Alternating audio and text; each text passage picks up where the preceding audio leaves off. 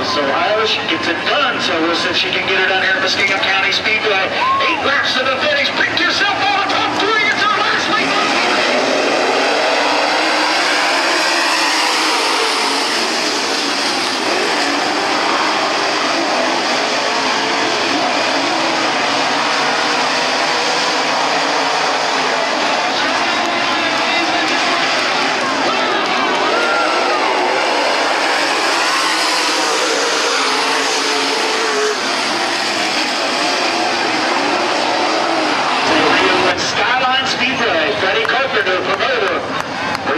The Skyline Speedway. You'll see their schedule come out this week. Here we go.